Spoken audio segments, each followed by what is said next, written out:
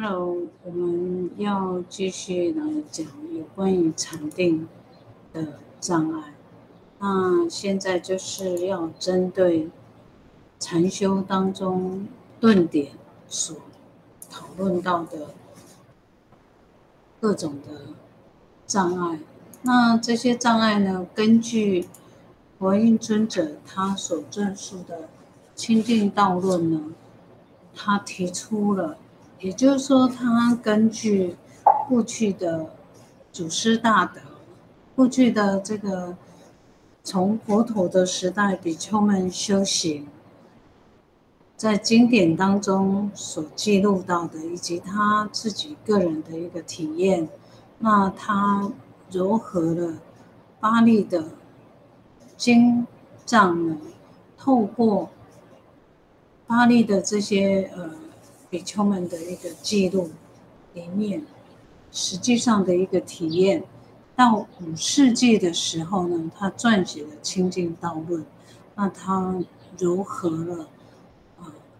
当时候所有可能的一个障碍，第一个障碍就是住所，第二个障碍就是家，第三是力养，第四众大众，第五业，第六。旅行第七，亲戚第八，病第九，读书第十，神变。那为什么？嗯，为什么说？嗯，为什么说这个助手？那根据这个《清净道论》的所提出来的十种障碍当中呢，第一个助手。住所是怎么样呢？就是我们当然需要啊，在博士的时候呢，比丘们呢是没有住的地方，也没有所谓的家，就是出家了嘛。那他们都在森林里面，在山崖，在水边，在坟墓总间，在一个空旷树屋，根据大念处经。的一个记载，佛陀的一个指示，比丘们一定要选择一个空旷的住所，一定要选择在树下，哦，甚至呢，在树下呢，也不可以超过三天，哦，你不可以说我喜欢这个地方，然后我就一直在这样的一个环境当中，就是避免佛陀希望呃破比丘们的。执着哦，那可是时间到了五世纪的时候，陆陆续续从原始初级佛教一直到原始到部派佛教，一直到五世纪的时候，我想各种的修行环境，还有禅师的一个指导，老师们的一个指导，环境的一个转变，一定会有一些变化。所以呢，从在树下、在总间、在山崖水边、大自然的，在森林里面空旷的环境当中呢，在很偏僻的一个金呃那个金色，所谓的南若金色，要远离群聚、远离聚落的一个地方来禅修，不是没有道理的，因为才不会。你所修的这个所缘呢，才不会被这一些所障碍到。哦，那在清净道论呢，这里就提到了说，住所跟家呢，对于修行来讲，一定很重要。我想很多人呢，呃，尤其是现代的人，喜欢把环境呢弄得很优雅，哦，很优雅，然后很舒服，那。要做什么样的一个建筑布置，然后要很多的整理，因为囤积了很多的物品。那然后呢，要花很多的时间去去在这个上面要去要去整理。那这个就是修行，一定会造成修行上的一个障碍。那再来呢，就是说每天要去忙着度化众生。啊，然后比如说像要上课啦、讲经说法啦，非常忙忙碌碌啦、办法会啊等等这一些呢，或者是说对于信徒的一个力养供养，就贪贪着了。那这样当然也是一样，哦，就是会障碍到你，障碍到这个禅修。所以呢，呃，在众人呢，或者是说喜欢当别人的老师啊，啊，啰里吧嗦的要去把自己的经验告诉别人啊，然后很多的提醒啊，这一切都是为你好等等的。那忙着盖道场啊，这都是一种。弘法的事事业，那当然呢，用功的时间就会缩短。那不能安住在一个地方好好的休息，然后希望到处的旅行，哦，到市场去逛街，或者是到这个国家那个国家，哦，游山玩水等等的穿梭，哦，喜欢穿梭在大街小巷逛街等等的，看看人。与人聚会放松，这样子呢都会造成，就是没有办法专心安住。那再来呢，就是说亲戚很多，来来往往，婚丧喜庆，忙于应付。生病了，哦，大家一定有体验，每个人都会生病，从小感冒到。得了什么样的病？心脏病、肺病，像现在的呃新冠状病毒等等的这些病毒，一旦生病了，呼吸就困难了，都什么都不用讲哈。那所以说，身体也会影响到心情。那怎么样子来呃休息呢？因此，身体也是自己的一个本钱哦，所以。哦，再来呢，喜欢读书，喜欢阅读，哦，穷穷经万论，然后埋首在书卷当中，这样子呢，也是容易呃让你的这个巡视呢过于强，那心就不容易再专注一个地方，专注于静，然后另外就是神变。神通呢，喜欢神通的人呢，也会障碍到解脱。不是说神变神通不好，而是当然自由解脱这件事情，那是更好的。所以这个是清净道论呢所提供出来的。那个当代的时候，他所呃警觉到的众生的比丘们修行所可能遇到的。障碍这十种障碍，那当然，我觉得以我们当代这一些，这些也都非常适用到我们二十一世纪的这一个当代。那我觉得在我们这个当代的一个障碍，那就更加多了。我常常觉得现在呢，就是各种的物质环境的一个诱惑啊，那这个也是属于力量的部分，然后。呃，选择一个简单的环境、空间来静坐，我觉得或者是修行，这也是非常有必要的。哦，那嗯，我们怎么样子能够，也能够在众人当中，因为我们不可能离开了我们的工作。但是我们又能够拥有自己独处的时间，哦，我觉得这一些呢，都是每一个人在适应自己的，每个人的应援条件不一样，那你怎么样子来避免你修行上的一个障碍呢？这个都是啊要去思考的。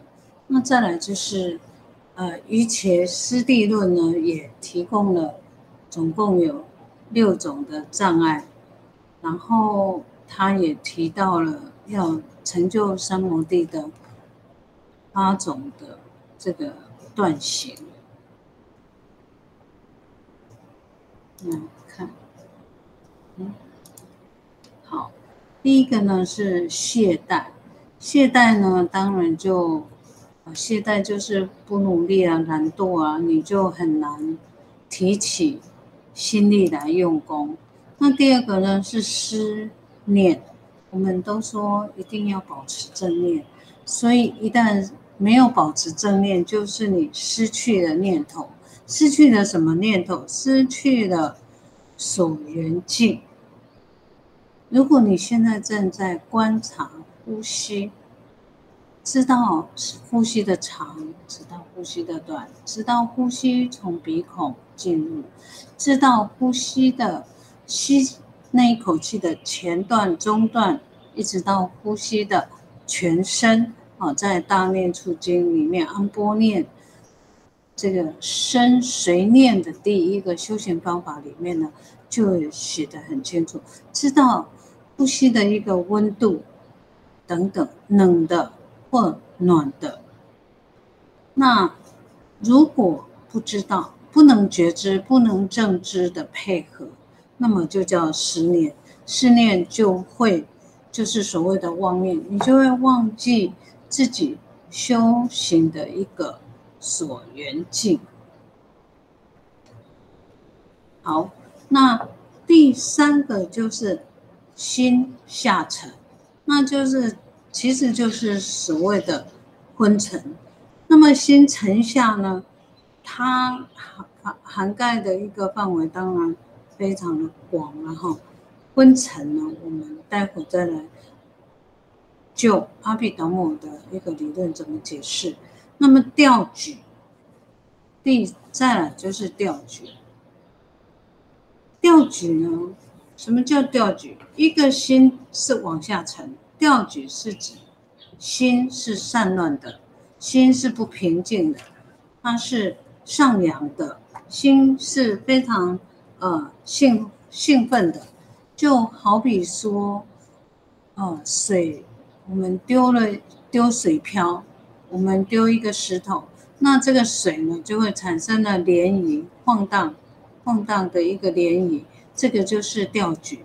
调举的静音呢，就是善论的心，然后起不如理作意，所以善论呢是调举的一个过程。再来，有功用行。有功用型呢，就是说作意给心，给心的一个方向。我们需要作意呢，才能专注在对象上面。那么我们的心呢，其实常常都像在奔跑、奔驰、快速的马一样，我们的心。所以大家看到马在快速在跑、奔驰的那个那个样状呢？我们的心就好比这样。那作意就是说，我们能够去拉住马的，能够去御马、御马术，能够去控制这一个马的，拉住它的缰绳。那这个就是作意，有功用型，就是说用过度的一个努力，那专注在对象上面，心反而没有办法稳定啊所以太过用功太紧心太紧也是不对的。那这样子呢心就不能够稳定平衡。那当然也是属于修订上的一个障碍。那另外刚好跟他相反叫做无功用行就是不够用力。一个是太紧那这一个是太松。你的力道不够，力道不够的时候呢，这个坐意呢就没有办法在你修行的这一个呃所缘境，这个所谓的对象，那当然就容易失去的正念。所以这个就是在《瑜伽师地论》上所提到的这六个修行的障碍，第一个叫障碍懈怠。第二个叫思念，第三个叫心沉下，第四个是调举，心散乱，心不平静，再来用功哦，用，有功用行，用功过度太紧，无功用行，不够用力，作意于对象。还有，在南传佛教。很多的注释书里面呢，也提到了整理出六个障碍。哪六个障碍呢？第一个叫心缘未来，你的心呢放在当下，没有放在当下，而放在之后。放在这个当下的以后，在担心还没有发生的下一刻，或者是更远的、更远的一个不可知的未来，心放在那个上面啊。然后第二个呢，要不然就是放在过去，你心呢没都没有在当下，然后放到之前的所用的一个。所所用的一个所缘境，或之前的一个对境，那那个叫对象，心就跑到那个过去了。再来调举，就是心太过紧张，哦，心太过紧张了啊！现在我要禅修，然后心就紧张起来，一紧张。哦，你要好好把念头保持正念哦，把念头抓住哦，抓住，然后就调举不安，这时候也是会不安。再来，好了，坐下来，坐久了以后，呼吸久了之后呢，忘记自己的所缘境，就是刚才讲的思念。那么这时候呢，就心就松弛了，那也容易就开始昏沉。第五呢，心有欲望，你心里面有一些贪念，或者有一些执着。有执着的时候呢，在想着一件事情，想着刚刚发生的事情，然后执着，或者执着在某一个物件上面。那这个时候呢，这个欲望，这个执着呢，将会干扰你修行。再来呢？心里面有尘，你在想着刚刚什么人讲了一句话，什么人的一个脸色，然后放在心上耿耿于怀，那当然呢，也是不容易接受当下，不容易接受当下的一个要修的一个所缘境的这个障碍了，所以我们在呃。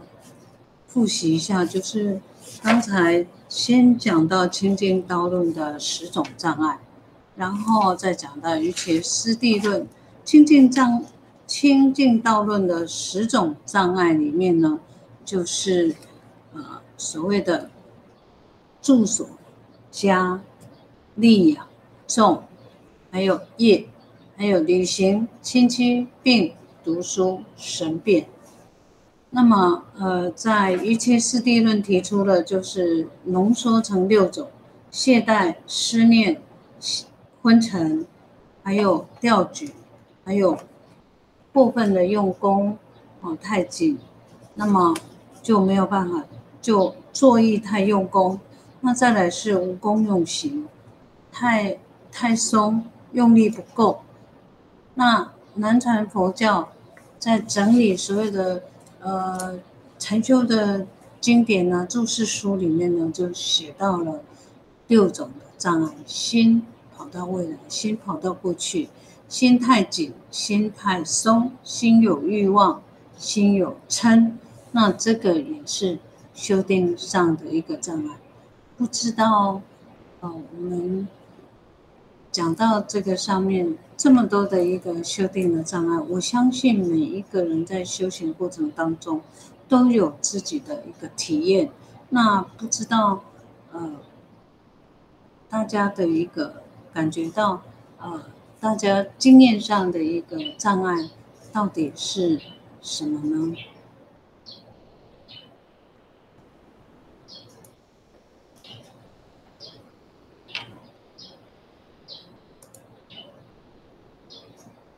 好，那嗯，我们当然很希望大家都能够来做分享，来做分享，然后提供提供修行上的一个经验之谈。好，那我们先把这个画面呢先结束。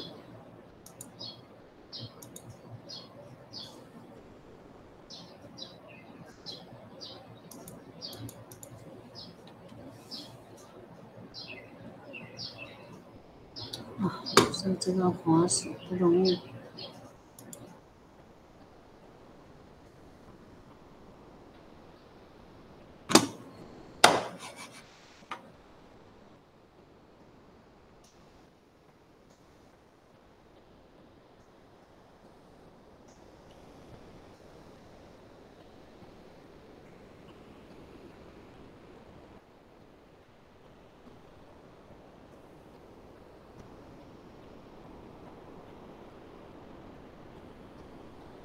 好，刚刚又出了一点状况，谢谢。